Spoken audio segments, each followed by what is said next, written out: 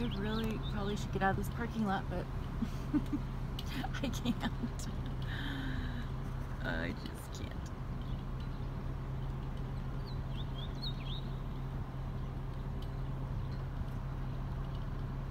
I mean, I should have been coming here a long time ago. I'm in the shade, but I can still see the whole sky.